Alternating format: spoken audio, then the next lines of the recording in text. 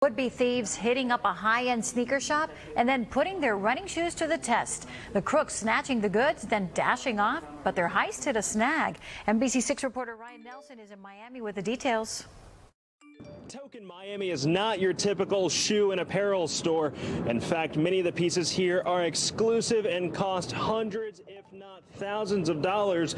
The suspects tried to get away with about $100,000 in merchandise before police caught up with them. And I mean, we sell some of the most limited items across the world as far as sneakers, clothing, um, even collectibles. Uh, the most expensive sneaker we probably have in here is probably about $8,000. Token Miami, a high end house of high top sneakers and more. Hit by would be thieves, store owner Myrick Mitchell says he was alerted to the attempted burglary early this morning. Uh, so I got a phone call from ADT, our security company. They let us know that um, our alarm went off and that they dispatched um, the police to come by to see what happened. Mitchell says police showed up and found the getaway. He tells NBC6 they arrested three men who are now facing burglary charges.